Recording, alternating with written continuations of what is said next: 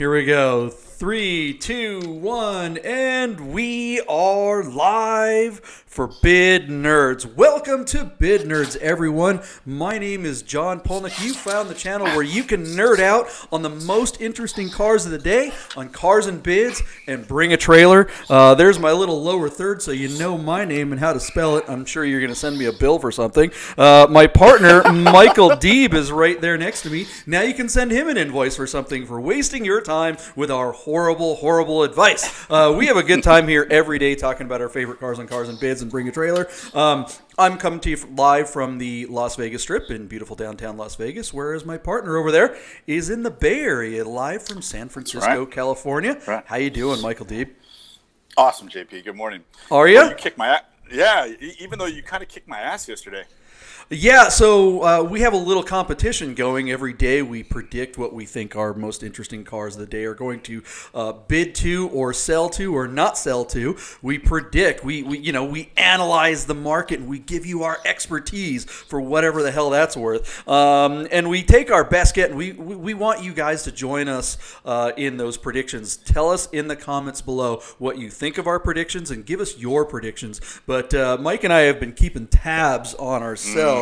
And uh, yesterday, let's quickly go over yesterday's cars, what they Yeah. went for, and what we predicted they went for would go for, and see what the reality was. Let's see how how far away reality and our you know crystal ball uh, did yesterday. Let's. Uh, wh- which car do we want to? Let's see. You're going to go down the list there. Uh, Yeah, yeah. So, so we started with the on cars and bids. There was a gorgeous uh, 2012 E63 wagon with some miles. I said 31.5. You said 32.5, and that car split our bids at 32,000 sold. Uh, so that was a draw. Wow. Um, and then uh, out of uh, Oakland, California, was that cool little Ford Cortina, the right-hand drive car with the S2000 drivetrain. I predicted 24,000. You were a little softer at 21. That car actually brought thirty thousand two hundred and fifty dollars and sold, and I won that one, and it was all downhill from there for me. Um, as you took the 2008 Mercedes-Benz CLK 63 Black. Uh, I said 108. You were a little softer at 101, and the car only brought $96,000, which was probably less than 10 where we uh, look at it. That was your first of the day. And then you kept rolling with the 87 928 S4 out of Canada. I said 26. You said 27. That car brought 32 and sold. It really was a nice car, JP. yeah, Um, I'm still and- surprised that that one brought money, given that it was in Canada. But uh, yeah. Yeah. Yeah, but remember though, the car was sold originally in New York, and so it was Yeah. uh, imported to Canada, and I assume it's even easier to bring it back. Uh, and then finally, that uh, '91 Ford Probe GT. Um, I said I, the car was at 65 when we were looking at it. I said 68. You said 67, and that car sold at 65. It didn't bring another dollar at the bell. So there you go. Three wins for you, a win for me, and a draw. Good start to the week for JP.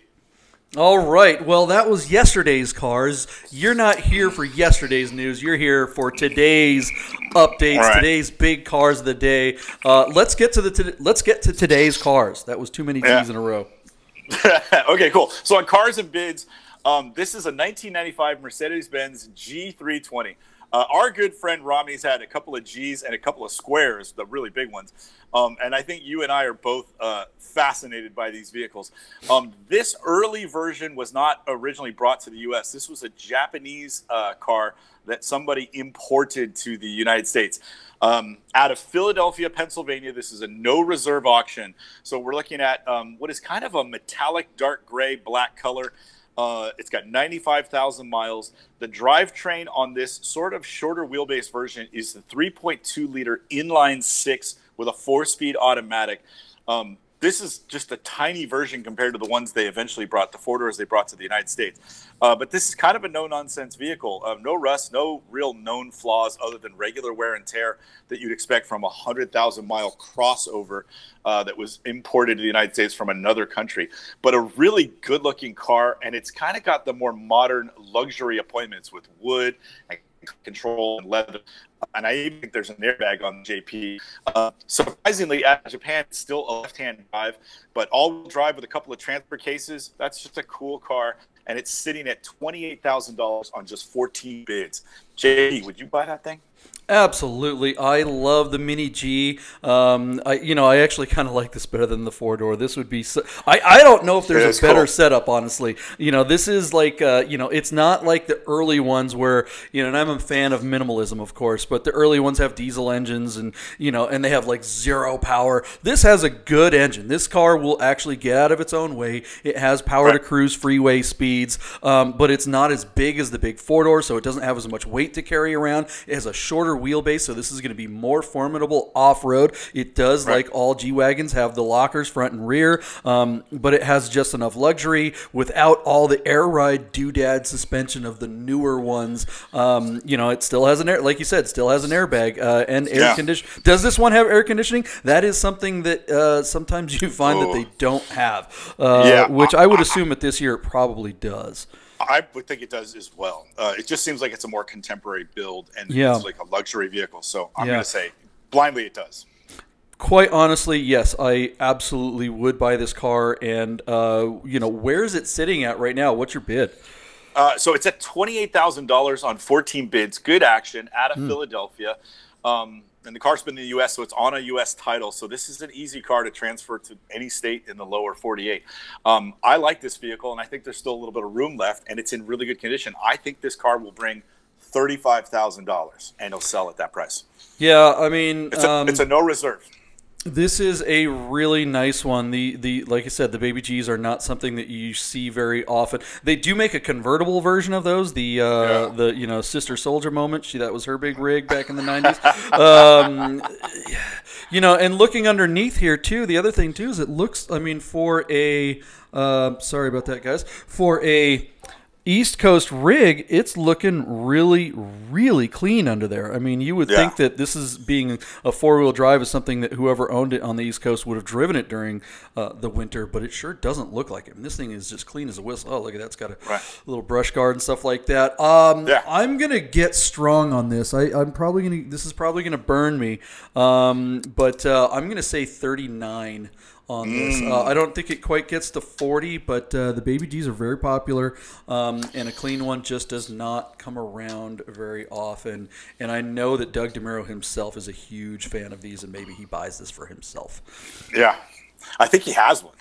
uh, yeah, he does. He does. As a matter yeah, of fact. Yeah. Um, yeah. I mean, I think this. Honestly, it's like it's before we move on to the next car. It's like in yeah. this era. What is this? A ninety? What year is this one again? Uh, it's a 95 95 you know so you're looking yeah. at a at either this or a land rover defender and uh-huh. i am a massive fan of land rover defenders i think they're one of the greatest right. vehicles of all time but this car this mini uh, this mini g-wagon or baby g-wagon is way more usable. This is something that's going to be much easier to live with, but still has that boxy utilitarian look. Um, oh is it as formidable off road as a as a as a defender? I don't know, just, but Huh? You, have just offended our entire British UK audience just tuned us off right now. He said Mercedes is better off road in the mud our defenders? Oh no i didn't say that. I said i said this is much more livable. The uh, the defender oh, is oh, definitely oh, the better vehicle off-road. That's yeah not at all okay. what i said. Let's be clear here. I thought, I, I, thought you said formidable and i thought you meant that this was a better off-road vehicle so i, I misunderstood no. you. Heck no. Okay, no cool. they are both formidable off-road vehicles. The land Good. rover defender is certainly the better off-road vehicle but the okay. baby g is the more livable of the two kind of Spartan utilitarian European off road vehicles. This is a car okay. that you get in, drive every day, drive to work, and occasionally go off road. Whereas a Defender, if you're driving a Defender every day, it's work. You're like, mm, man, I'm going through a lot to look as cool as I do right now, but I'm gonna feel it, right? I've got to have yeah. to really believe. Whereas the the baby G, get in that thing, turn it on, it drives like a G wagon, like a modern G wagon. Um, yeah. yeah. I do want this car, but uh, yeah, I think it's bid cool. out of my price range already. Um, so yeah, let's. Uh, good luck to good luck to the seller, and uh, can't wait to see what this one actually goes for. All right. Yeah, uh, I agree on. with you. That early that early 90s for Mercedes great era when you think of the Dub 124 and this class yeah. back then. Yeah. cool car. Okay, so we're going to jump over to Bird Trailer and looking at another no reserve option. This 1979 Alfa Romeo Alfetta GTV but this is a turbo delta version. So basically, Alfa made 400 of these cars to homologate the turbo on this car for Group 4 racing. At the end of all the photos, JP, while you're scrolling, you may see uh, something that looks like a brochure, and it looks like one of these cars on steroids. And that's the actual Group 4 race car that um, I don't know where it raced, but probably sports car racing throughout Europe uh, and actually did really well. The GTVs came with a front engine inline four with a rear transaxle. So these cars had great 50 50 weight distribution. They were two liter normally aspirated motors that were rear wheel drive with a five speed transmission um, and uh, you know synchro mesh and uh, twin cam these cars were really fun to drive. And these were actually very usable day-to-day cars. If you look at this jp it's a it's a real two plus two with a hatchback. A very cool car if you were a young man or a young professional in Europe living in a modern city and you had a car that you wanted to take out to the coast with your honey for the weekends, you could you, you might do a lot worse than a, an Alfa Romeo Alfetta GTV. Uh, super cool cars. Later versions of this car came with the V6, the 2.5 liter V6 that was in the Milano, but the early versions uh, used the basically the GTV Alfa Spider um, drivetrain, and that's what this car is. But this unique one that is offered to us out of Munich, Germany, um, has the turbocharger, which brings the, basically that 120 horsepower motor up to about 150 horsepower, and that probably 95 to 100 foot pound of torque all the way up to 170. So even though it didn't make a lot more power, it probably felt twice as strong because it's got almost twice as much torque. Uh, so I imagine this car is a hoot to drive and very rare. I would I would venture a guess that this car was never officially brought to the United States. So um, the person who buys this that might be stateside and brings it in, you might have the only one in the country. So just a very cool, very rare car that might be hard to venture a value on as the car is sitting in Munich, Germany at $22,500 on a no reserve auction. Yeah, I mean, how difficult is it going to be to find parts for something like that these days? I know the GTVs in general are getting more and more difficult to find things, yeah, but I, like I the turbo a, and stuff. Holy cow! Yeah, the turbo could be a problem if that's the thing that goes. Uh, hopefully, you find a mechanic that is um, smart enough that could rebuild the existing turbo if you didn't shred it. Mm. Uh, but as far as all the rest of the parts on this car are shared with a regular GTV Alfetta um, sedan. And, uh, and there are a couple of dismantlers. There's one in, in California, uh, Alfa Parts Exchange in the Bay Area, um, and they you could find parts for these. I don't think that would be the problem. It would be the turbo if it goes, but and I would still trust that these are pretty strong cars. Is that livery, the rainbow livery on the side, is that factory? Is that something that yeah, somebody added in the eighties? Yep, and somebody raced the car that looked exactly like that. So um, again, at the end of all the the images, JP, if you can find it, is a picture of the actual race car, and it, it looks exactly like this car with a big hood scoop. Um, and deep dish, like uh, gaudy looking wheels, which are really cool. Um, so that, that is not raced... this car. That's just one that looked just like it. Is that what you're suggesting? Well, that's the car they raced, and so the homologation special is painted the exact same way they painted the race car. The, the black hood, which on the race car is probably fiberglass, and the rainbow turbo delta livery on the side of the door. That was uh, that's how they raced. So I mean, it's yeah, racer replica. It's one of the photos right next to that. Pretty cool though. Very very cool car. Gotta love a hot hatch um, uh, from I mean, would this be considered a hot hatch? Is this like a pre-hot hatch?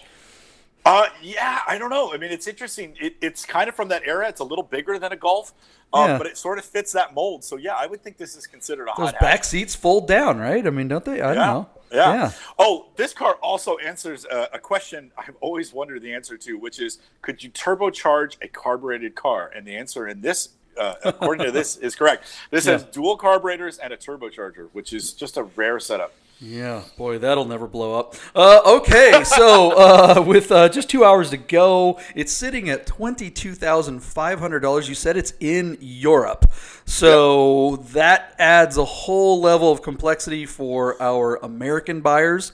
How hard is it to bring a car like this into America? Yeah, um, I think it's still pretty easy. It's just expensive. I think you know you're looking at minimum 7,500 to $9,000 to bring this car in and have somebody handle all the paperwork for you. And what's interesting is just in the time that we got started, this car jumped from $13,000 at, at 9 a.m. It went to 22 and then somebody else bid it up to 22.5. So this car has already uh, overshot my my pre-written bid on the car, hmm. um, and it's a no reserve auction. So I seems like somebody really wants to. At least somebody wants this car. So I'm going to raise my bid up to. I'm going to say twenty-seven thousand five hundred dollars. Twenty-seven thousand five hundred dollars. Um. Okay. Well, I'm gonna I'm gonna work off of your enthusiasm. Um. I love, you know, uh, Alfa Romeos. I love the GTVs in general. This is obviously a car that's way out of that norm. So yeah. I've got to lean towards your expertise, and um, uh-huh. I'm going to go. I'm going to bet the over. What did you just say? Twenty-seven. Twenty-seven five, yeah. Twenty-seven five. I'm gonna go twenty-eight five. There it is. Uh, I, you know, I'm hoping it breaks thirty. I hope this guy, whoever has this car, uh, gets all the money for it, and I hope someone in America pays to get it here. Uh, I would love to see this on a Coastal Range Rally um, yeah. or AutoFest next year here in Las Vegas. All right, moving on. Very cool car. Let's see. What do we got next? okay, uh, so keeping with the theme of, of relatively modest but rare cars today, we, nothing is that expensive in our collection. Mm-hmm. On Bring a Trailer, um, I picked out a 1992 Toyota Land Cruiser. This is called the HDJ 80 diesel five speed all wheel drive Land Cruiser. And somebody has kind of done this thing up um, with the. Uh, go anywhere uh, snorkel for the induction system. So you could literally go across a stream or river. Uh, it's got some big knobby tires and uh, the jp polnick approved roof rack uh, luggage rack to carry your spare tires and your gas cans. And the thing i think it's missing jp is a, is a proper light bar there seems to be like one accessory light. Oh no, that's the snorkels. Yeah, so it needs a light bar. It needs a JP Polnick light bar.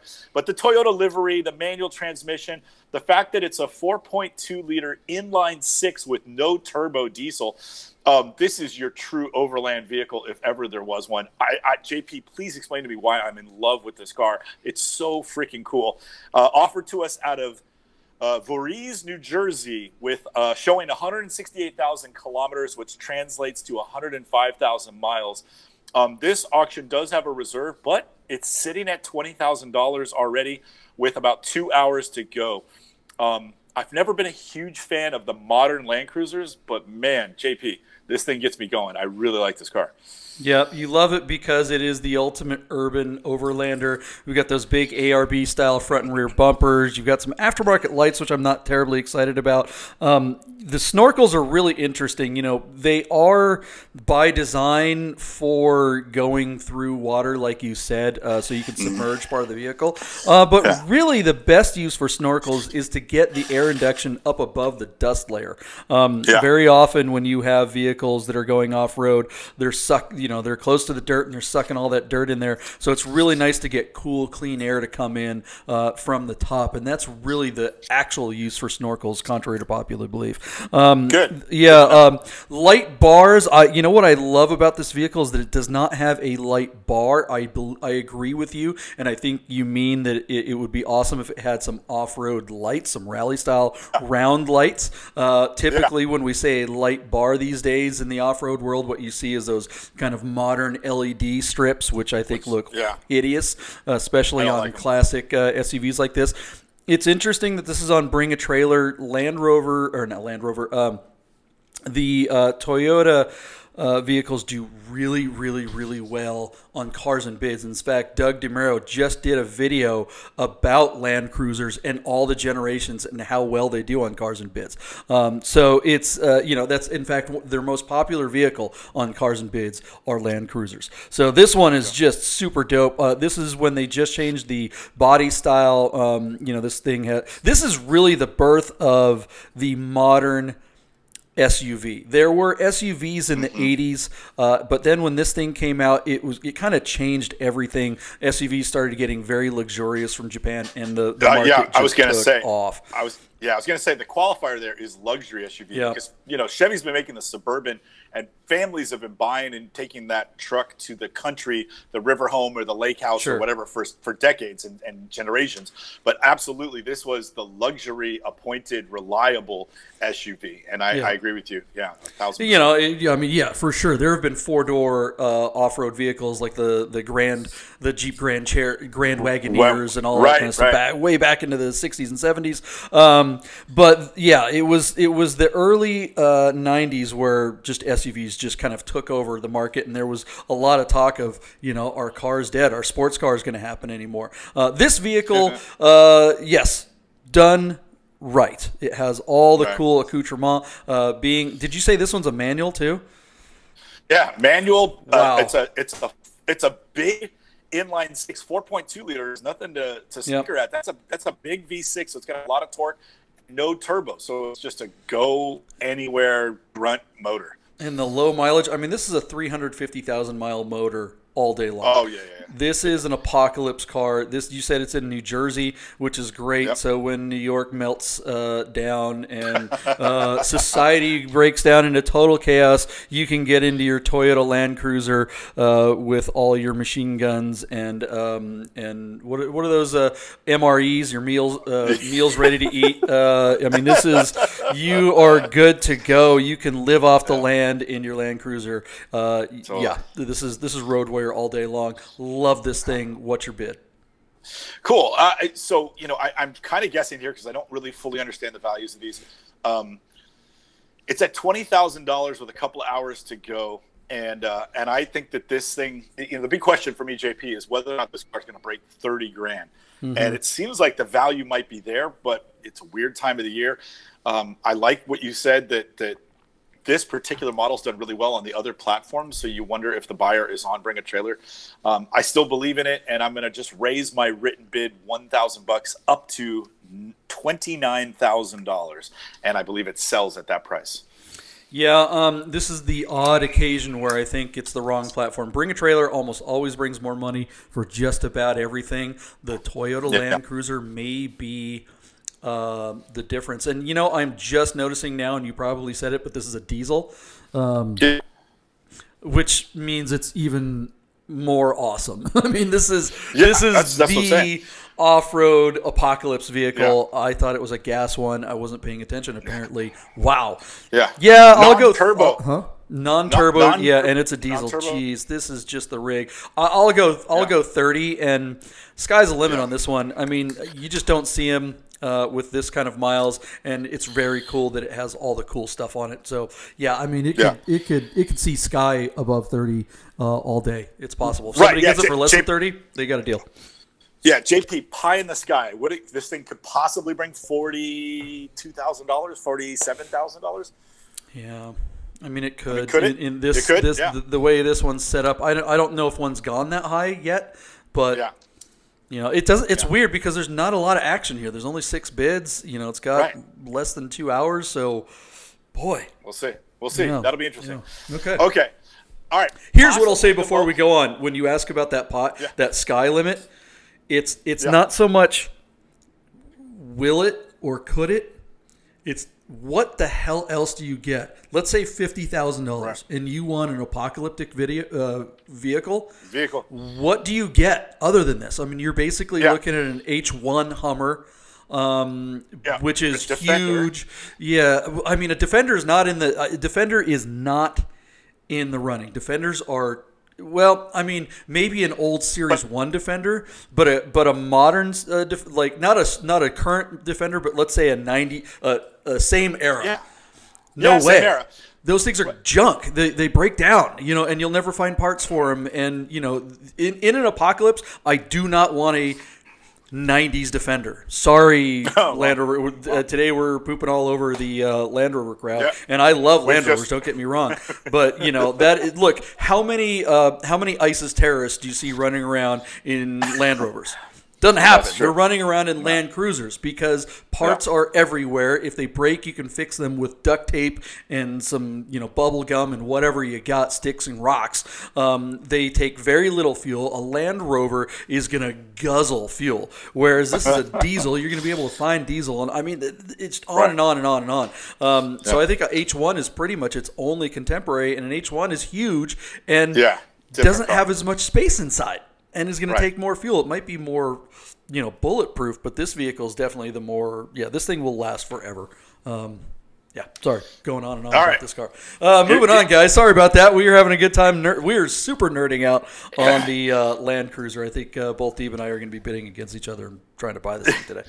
Yeah, you you you played it out well, Dan. Kind of want to change my bid. Anyway, my movement, bring, bring trailer. Um, probably the most least interesting car we've ever reviewed. Uh, looking at yet another no reserve auction. This is a one owner 1988 Nissan Pulsar NX. Um, I Wait a second. The least interesting car we've Oh. ever nerded out about? What are you talking Yes. about? Name one that's less interesting than this. This is awful, and I'm I'm not going to drop another f bomb, but just know that I want to. Uh, we're looking at a 1.6 liter inline four with a three-speed automatic. I'm sure this car is front-wheel drive. I don't understand the taillights. I never understood this car in the first place because it looks like it wants to be a sports car, but there is nothing sporty about it. It is truly a subcompact mini hatch commuter shitbox. it's it's a it's a one family or one owner car with just 56,000 miles. Um, both front and rear bumpers pretty scraped up. There's no real damage or wear and tear to the car. The interior's actually held up pretty well. Uh, considering what it is, I imagine this car is parked outside its whole life. It's got plastic hubcaps over steel wheels. Um, I cannot say enough terrible things about it. JP, did you notice it has 13 inch wheels? Good luck trying to find tires for this boat anchor. Um, out of South Pasadena, California. Um, and it's jumped. Oh my God! It went from two thousand two hundred eighty-eight dollars to two thousand three hundred eighty-eight dollars with just two and a half hours to go. JP, why on earth did you pick this car? So you can you can dump all over this car for all the obvious reasons, and I would agree with you for most of them. But saying it's the least interesting car, it could not be more wrong. This car Oh might be the most interesting car we've ever talked about. The Nissan Pulsar NX in 1988. This is the second gen Pulsar. Uh, this car was amazing back then. One thing that uh, th- this car, as bad as it is, I mean, it, it it's very reliable. It's a good daily driver. You know, in the 80s, it was one of those cars that you could drive this thing for 200,000 miles. It, there's no frills. You're right. It's front wheel drive. You know, this one in particular is an automatic, so snore. But from a utility and fun point of view and inexpensive, this car has T-tops. Uh, this rear hatch. So this is the sedan hatch, right? You can see my mm-hmm. cursor going along the line. Yep. This whole piece is removable, and you can buy a wagon back. They have a complete interchangeable back end on this car that Nissan thought, you know what? For people that are living in this urban area and they don't they don't want to buy three or four cars, but they want a car that's sporty with this notchback, and then they can get this. They can make it into a kind of a wagon thing. I mean, how often do you hear? What's that? And why would you do that? Is that if you wanted to gift the car to your cleaning lady? Why would you make it a wagon? Well, I mean, maybe you wanted to go camping and sleep back there if you're short. my uh, you, I mean, there's a million different things. The the fact the the fact that a car company said, "Yeah, let's try this," uh, is interesting alone. You just don't see car companies taking risks like that. This whole piece came off. You could make it into a wagon. How amazing! And the top and the T tops. I, I, so Rochelle actually had one of these for a little while, I was and it was for that, actually yeah. fun to drive. Piece of junk. I- it never broke down on her. Michelle's was a manual, of course, right? Uh, it was, and actually, the the thing about it was, is that, you know, we didn't like own it. Own it. It was one of those things. A friend of mine, it was his wife's car, and she had it for Yeah. like brand new, and it had. I don't know, two hundred thousand miles when they gave it to us, and they're like, "Can you sell this for us?" And uh, at the time, we lived uh, in downtown Seattle. We had this teeny little apartment in the city. Uh, we only had one parking spot, so I was like trying to find places to stuff this thing on this in the middle of the city. Like we were in Belltown. There's no parking for this. I'm like putting it in alleys Oh and stuff. And, uh, so yeah, but uh, so we I, when I say we had it, it was like we had it for a couple of weeks. But you know, it was actually, you know, in the summertime with the t tops off, uh, it was no more or less fun than driving a Volkswagen Rabbit of the same era. I mean, it didn't have, it had about the same power, handled about the same, drove about the same, um, Yeah. and honestly was more utilitarian than uh, than Yeah. say a Volkswagen of its uh, kind. Yeah, but you know, not worth anything. Um, I think it definitely has some Radwood appeal. If someone had both of those rear hatches, you never ever see, that would be a pretty cool display at Radwood. Um, That would. yeah, uh, Michael Deeb. Um, other than a pine cone and a pile of dog crap, what's your bid? So JP, I will give you two thousand six hundred and eighty-eight dollars not to park this on my front doorstep. Oh man, that's just cheap enough to make me want to go buy it and uh, make drive it up to uh, drive it up to San Francisco and uh, leave it out there for you. You come outside, that would be Rami will blow it for you. I think I'll give you that. this would be a great car to, to destroy on the Rami show. You know, uh, okay, so you're at twenty six. What? Twenty-six eighty-eight because it, it's hundred dollar increments and they're stuck on this eighty-eight thing that I don't think they'll get off of. So it's at Yeah. twenty-three eighty-eight now. So I'll give it another three hundred bucks and then it's gone because it's a no reserve. Yeah, I'm gonna say it goes up to thirty three hundred bucks. Oh my god! I think it's All just kitschy enough. I'm probably wrong, but uh, you know, yeah, there it is. Pulsar NX. You got to look up Oh. if you haven't seen the commercial for this car. I still remember the commercial for some reason. Uh, the jingle Pulsar NX, and they had the, those those rear taillights with those goofy lines that they have in it. They had like yeah, these yeah. graphic lines shooting across the screen. It was just the Yeah. stupidest thing. Yeah, yeah. Probably had neon break dancers or something. If you go back to this era, right, of the late '80s, early '90s, neon and smoke sold almost Yeah. anything on television. It's pretty funny. I am surprised that this thing is, you know, old guy beige. Uh, most of them are like orange or red or you know, champagne. it's called champagne. champagne. the champagne room. Yeah, totally. Or, or from Japan, it's sake beige. Yeah, everybody pay attention to the main stage. We have Crystal in the champagne room. All right, last car, Moving on. JP. Um, I think we have saved maybe the best car of the day for last. Hmm. Uh, 2004 Porsche Boxster S 550 Anniversary Edition. This is a six-speed manual car that is just on 47,000 miles out of Fairfield, California. Um, I kind of like this car with the cocoa leather interior and the brown top. Uh, it's got the GT silver painted 19-inch wheels, uh, and I'm a big fan of these wheels. Correct me if I'm wrong, but that's the same wheel that's on the uh, anniversary, the 40th anniversary. They, they are called Is it not? MYO2s and they're 18s, Yeah. yes. Yes. Okay. 18. Sorry, but uh, very cool car. Um, it's interesting. These special editions always got the sport exhaust. Porsche did a lot of them, and they always made like five horsepower more than the regular one. So instead of making uh, around 260 horsepower, this car made like 265. Uh, but otherwise, it wasn't really a, a performance thing. It was really just the uh, cosmetics.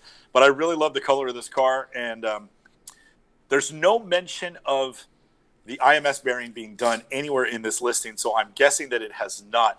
So keeping that in mind, you, you kind of wonder where this car is going to land, knowing that you probably, if you intend to drive it, you probably want to just go ahead and do that $3,000 service.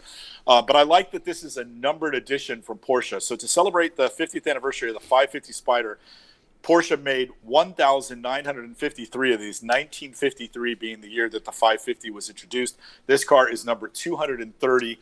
Um, and just kind of a nice, clean, low mile example. I mean, think about it, JP. If this car hadn't timed out, it'd still be under warranty by the miles. This is a very low mile example out of Northern California. Um, do you like it as much as I do?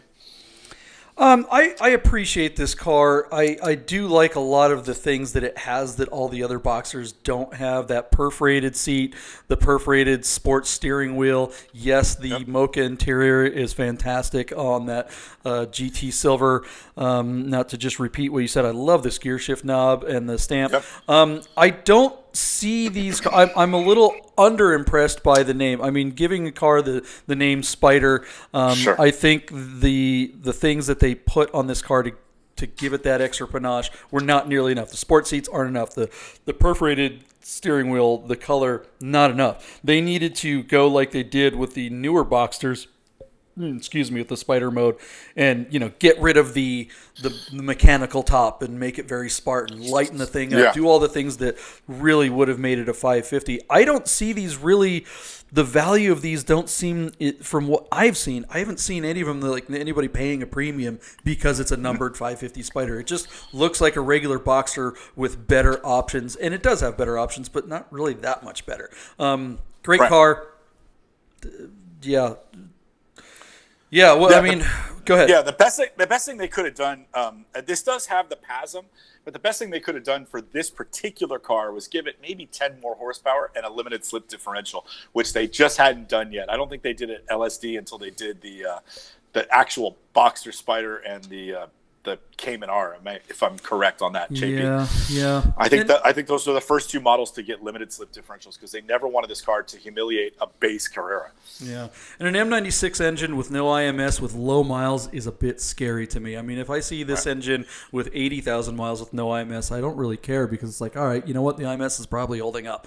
Uh, but with low Yeah. mileage like this, and I'm always concerned about the things that weren't done by the factory uh, cranksheet, um, you know, the there, there's all kinds of other seals that like to let go on this particular engine, and most of them did it with low miles when the cars were under warranty and the factory paid for all that stuff. Um, we're not talking about hand grenade type stuff like the IMS, which will destroy the engine, but you know, just little stuff that will drive you absolutely up the wall and, and cost a lot uh, to take Yeah. care of.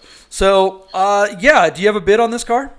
Yeah, so it so the car's sitting just under twelve thousand dollars. It's in Northern California. It's got low miles. It's a special edition, but I think I agree with you that there's no quantifiable premium for this particular special Boxster.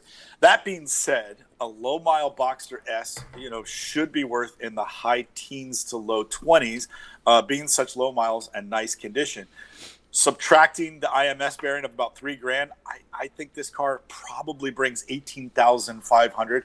And I would say that if the IMS was done, it would bring low twenties, but it hasn't, and that would be a problem for the next buyer because he's got to deal with all that crap. So eighteen thousand five hundred, and I think it sells at that price. Yeah, I mean the the IMS is a three thousand dollar. Uh, it's not even. It's like twenty five hundred, but whatever. It's it's one of those things Yeah. that honestly replace the clutch because you, when you replace the clutch for twenty five hundred bucks, you throw in another five hundred dollars and they replace the IMS. So at that point, just say, hey, I'm in for a clutch replacement, and can you update the bearing while you're in there? That's the way to go. Now you have a 2004 Boxster with a brand new clutch and a uh, little bit of peace of mind. So yeah, so your bid was eighteen five. That's correct. Okay, uh, I'm gonna go 19.5. I'm gonna. I think it's just gonna go barely over that. This car does have a lot of action. Um, it's gonna take a while to creep up there. Um, I'm scared that this is gonna just stall out at like 17, and I'm gonna lose to you. Uh, but I'll go over on this one anyway, just because it does seem like there's a lot of action, and uh, it is a neat car. And maybe, maybe this is now we're finally going to see the premium for the 550 anniversary edition. This might be the first one that we see a premium for. But honestly, at 20 grand between you and me, if I'm Yeah. looking to spend 20 grand on a Porsche and I'm willing to get a Boxster, the next generation Boxster is the one to get because you could easily get a slightly higher mile not anniversary edition. So let's call it a 2005, 2006 Boxster. So set, we're talking about second gen. The looks are um, Yeah. way better, uh, you know, light years ahead. And all the performance, everything about that car is better than the last gen, the the dot two of the set of the first generation. For twenty grand, I'm definitely looking for a 2005, 2006, or 2007 Boxster S. Interesting. You Yeah, know, yeah. So Solid advice. Yeah. Okay. All right. Well, is that all the cars today? Yeah, that's all of them. And I, if you look at this as a whole, JP, this is probably the most modest collection of cars we've ever reviewed. Uh, Yes. You could buy all these cars for 100 grand. Except for maybe the '92 Land Cruiser that could uh, could see huge numbers, That could given that we're close to the end of the world. Uh, while we're at it, let's say uh, let's give a shout out to our sponsor, Guys Customs. Make sure you go on to Guys Customs and order your custom made bracelet for men who love machines. We have uh, my uh, we got a little Submariner matched with the Guys bracelet here that looks really cool. You can get that one on the Guys uh, custom site. Uh, go to guys underscore custom on Instagram. That's spelled G Y X, not uh, G U Y S. So guys custom. That's G Y X guys underscore custom on Instagram and order yeah. your individually made guys custom bracelet today. Michael Deeb, yep. thank you for uh, being here today and doing another set of cars. For those of you watching, thank you. Subscribe, like, and share. We're a new channel. We really would love your help to get the word out. Make sure you tell us about the cars you'd like us to review in the future. Let us know what you think about our predictions on price give us your predictions. We really want to kind of see what you guys think about what we're thinking here. And we'll see you tomorrow at the nine o'clock hour right here in the same place. Thanks, guys. Awesome, JP. Peace out.